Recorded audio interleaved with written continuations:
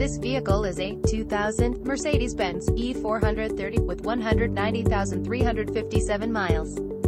Brought to you by Superior Auto Group. This Mercedes-Benz is a four-doors vehicle with eight cylinders.